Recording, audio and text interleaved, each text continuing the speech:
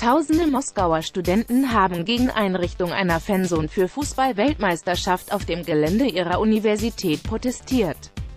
Sie hätten bereits zwei Briefe an den Chef des Weltverbandes FIFA, Gianni Infantino, geschickt, um Fanzone von der renommierten Lomonossow-Universität fernzuhalten, teilte eine Gruppe von Studenten mit. Eine Antwort sei jedoch bislang ausgeblieben. Auch Appelle an Präsident Wladimir Putin und Stadtverwaltung waren ihren Angaben zufolge ohne Erfolg. Für WM vom 14. Juni bis 15.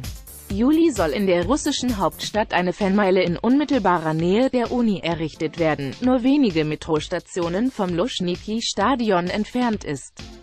Mehr als 25.000 Fans sollen dort feiern, die Studenten und Professoren wehren sich dagegen, weil ihrer Meinung nach dadurch der Unterricht und Forschung massiv gestört werden. Das grüne Gelände rund um Uni ist nicht dazu geplant worden, um ein derartiges Festival zu veranstalten, hieß es in der Mitteilung. Einer Petition hätten sich bereits mehr als 4.500 Studenten und Professoren angeschlossen.